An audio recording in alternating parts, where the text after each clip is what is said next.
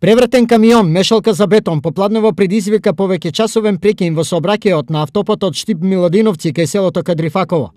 Неприлагодена брзина е една од можните причини за сообраќајката. Возачот се здобил со лесни телесни повреди, а причината е значителна материјална штета, информираат надлежните истражни органи за телевизија Стар.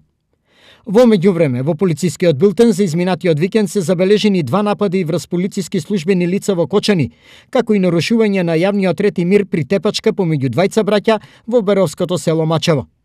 Во временски диапазон од 12 часа, во два одолни случаи на различни локации во Кочани, вчера при интервенција на полицијата поради пуштена прегласна музика, приведен е жител од село Пантелеј, поради упатување на закани по живот на еден од полициските службеници. Во другиот случај, при контрола на лице и возила затекнети во време на полициски час, нападната е полициска службеничка. По неуспешниот обид за физичка пресметка, напаѓачот побегнал. По целосно документирање на случаите, против прекрешителите ќе бидат поднесени соодветни пријави.